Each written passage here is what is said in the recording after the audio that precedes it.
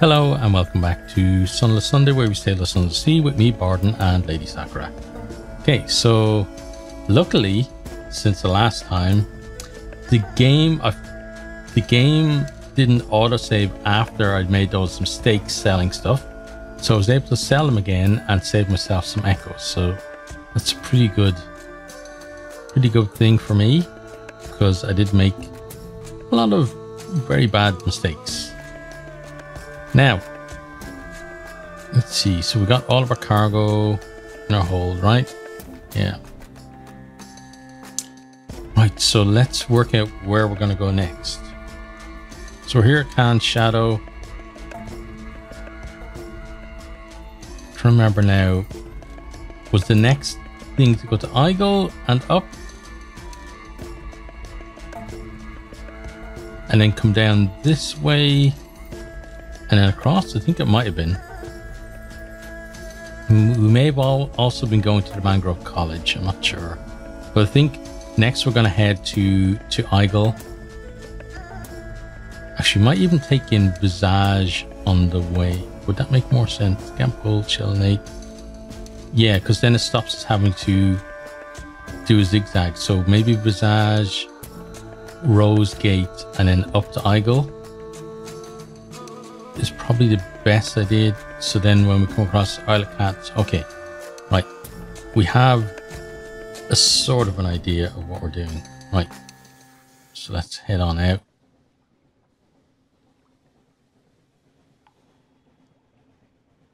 We don't have a great amount of um, of supplies, so we need to be careful of that as well because we've got to we've got to get all the way up and then down to Aestival before we get any real um, any real chance to to get a lot of supplies.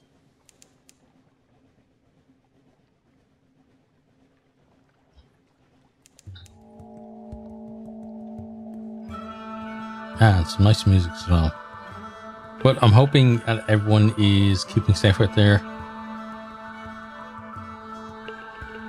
I'm kind of getting, we're getting to the point here now where things are getting a little more serious with the whole COVID 19 stuff. But we're also getting ready to move uh, back to Ireland. So, well, back for me, but to Ireland for my wife, who's Japanese. Um, yeah, so kind of getting close to, to that point now. We've got a couple of weeks before we go.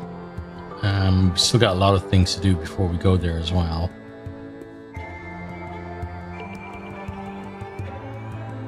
So I'm going to be busy for the next while. So I'm trying to get as much recorded as I can before before we head there. Okay, so let's get a port report first. This will have to do. Apartment, a uh, departing merchant gives you a confused account of crocodiles and honeycakes and something about ear blockage. To this, you add your own impressions about the street layout close to the port, the types of commerce here. When the lights are especially bright, it is possible to make out the details of the profile of the great stone face. Okay, and then we'll go ashore. All those who enter must play their parts. The sign is visible only after you've crossed the threshold. Okay, let's check in. And we're going to play...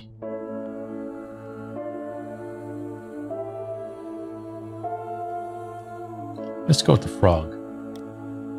Moonmoth lifts the mask and places it over your head. The eye holes are large and they are fitted with spectacles. These improve your view of the environment, though you must look bull-eyed from the other side. There is a much there is also a mechanism attached to the mouthpiece which magnifies any sounds you make.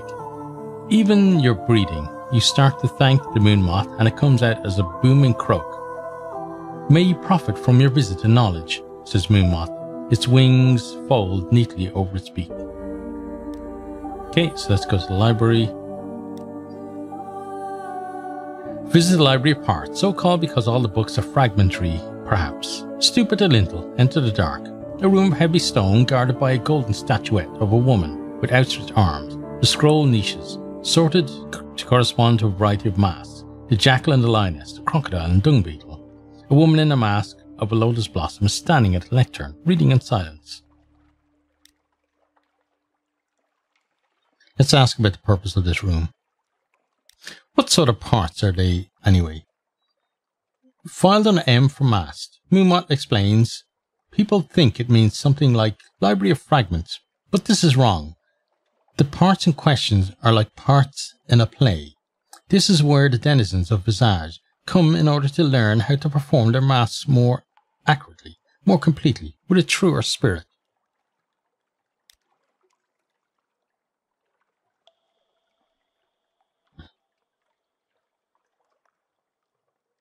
Let's study the scroll in a bumbling way.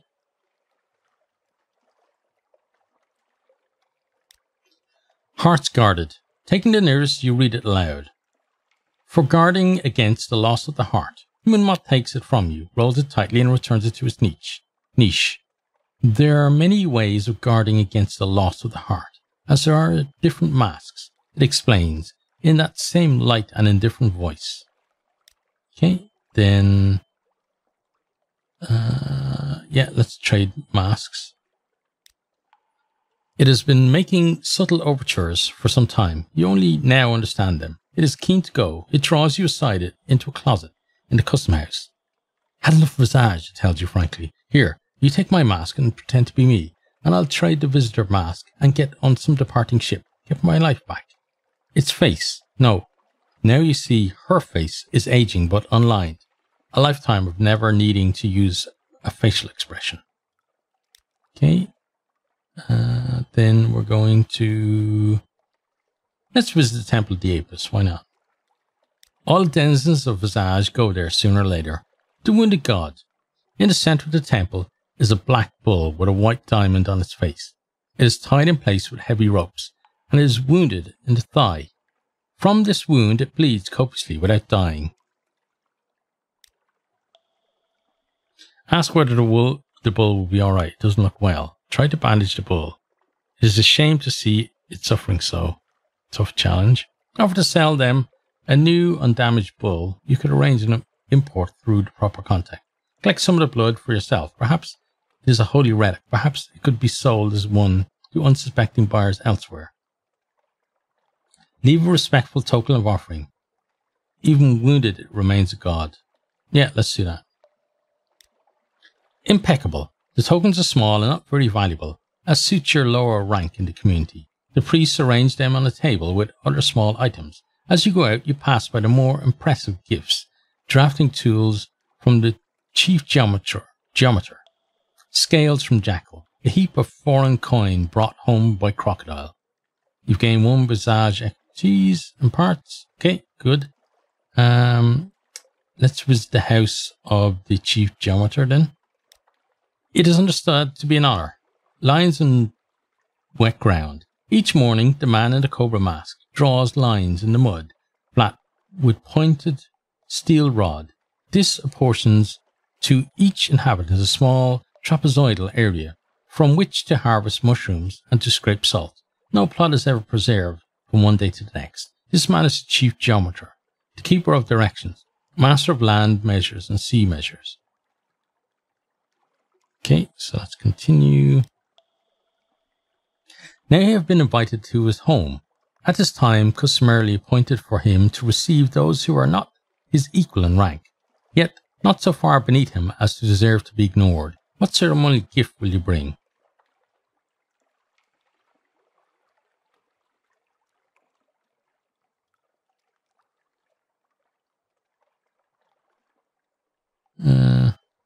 Yeah, let's bring a fresh candle. We heard he likes candles. Why not? Hunger set aside, the gift was suited to him personally. One can see this by the way that he hesitates regretfully before he performs the rejection that etiquette requires. It was thoughtful, but it is not the gift of moth to cobra, therefore wrong. Oh, not good. Right, uh, let's visit the face. At the proper time, you must, of course, Wait until your work with this day's crop of frogs and locusts is complete. It would not be suitable to bring them along. Okay.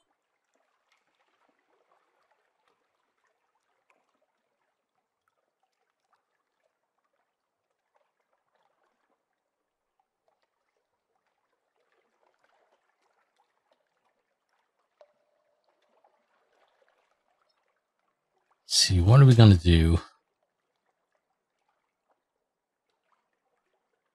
Let's look for the doorway into the year.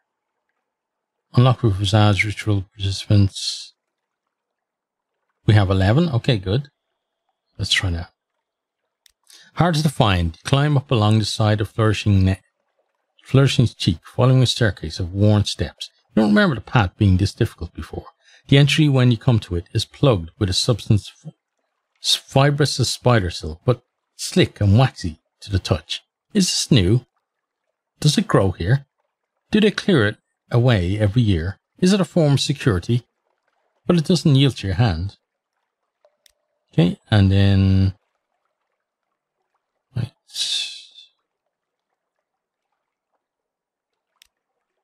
What are we going to do then? Let's visit there. Okay, let's try this. Offer instructions to the frog to find its way up here. 57% chance. That's the sort of thing your moth would have done to you. Credible on both sides. You tell the frog a partially true story about how this face was carved. The frog replies with an amplified belch and a story it heard about the sphinxes known as the salt lines. It's really a very good frog. Cool. And then now we can end the performance. Okay. Let's do that. We lose 10 terror. We like that. Camera. When the other citizens are distracted, you find your way to the familiar custom house and rid yourself of mask and robe. There's satisfaction in laying aside a role well performed. Okay, well, well done us then, I guess. Uh, there are no shops, so we're going to leave and head in this direction because we want to go to Rose Gate, right? Right? Yeah. I'm not sure whether you're real or not. Kind of guessing maybe you're not because you're not setting off any kind of detection on our part. That's not always the true indication. And we're gonna get ourselves down and get the Rose Gate.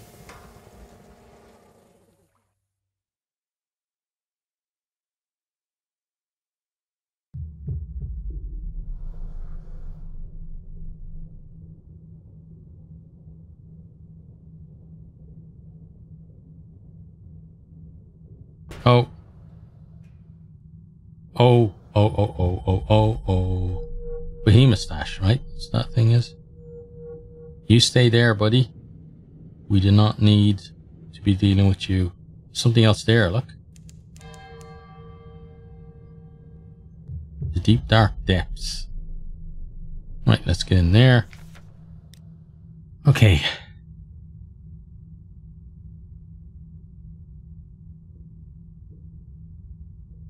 A pamphlet. Neatly printed histories of the shop are stacked high on one of the display cases, and others encourage visitors to take one. Self-published plaudits. The pamphlet describes Ruggate as a cigar shop with a factory on the upper floor. True. Here they produce and sell an unparalleled variety of cigars. Also true. The tobacconist is described as world-renowned figure, respected for his dedication to his craft and the brilliance of his creation, creative vision. Hmm. Pamphlet boasts that his genius will forever alter the tobacconist's arts. Well, that remains to be proven. Okay, cool. So we got that. We don't need to sample a high quality cigar.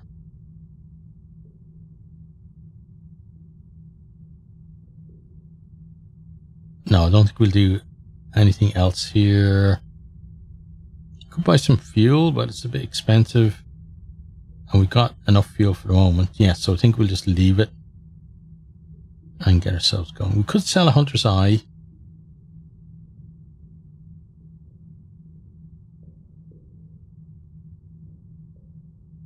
Oh, but I'm going to take it. I'm going to keep or keep it, should I say. Right, let's go get ourselves back up before this thing comes and gets us, wherever it is.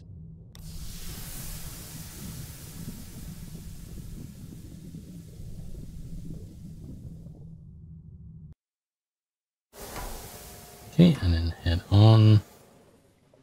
Check our map. So we're going to Aigle next, right? So we look at all the places where we can go with our submarine.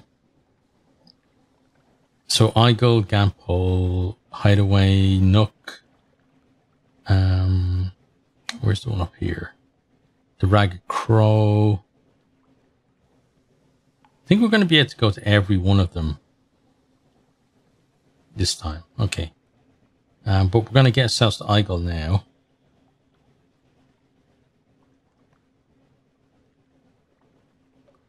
I want to stay close to the... Uh-oh. Not, now I don't want to stay close to the shore. It's going to get shot at. Ooh, no, we don't like that. Let's leave you behind, buddy. Enough of your crap. Okay. Somewhere about here. We should dive, I think. Yeah. Let's leave him wherever he's doing. If you want to dive under the water in your non-submarine ship and attack us, it's fair enough. I don't like how far we are away though from where we want to go. There's Aigle there.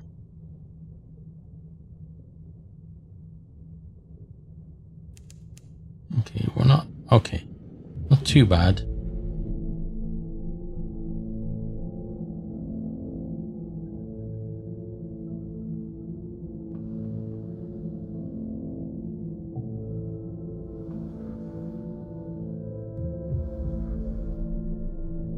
Okay, and we pop. Right. So, first of all, let's get our port report.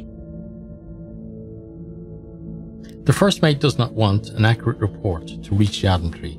They will reward you with extra needles, they say. A grave and holy place. You invent a tale of the life in the fortress Kettle, daily feasts held at midnight in Jerusalem.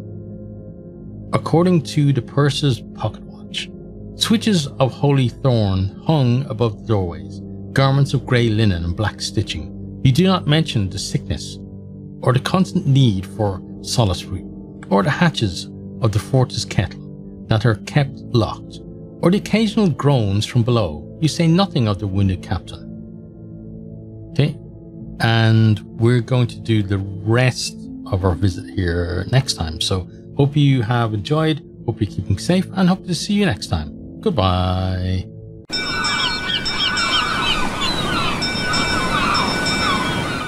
Thanks for watching this video. I hope you enjoyed it. If you did, maybe you'll hit the subscribe button there on the right and check out some other videos here on the left.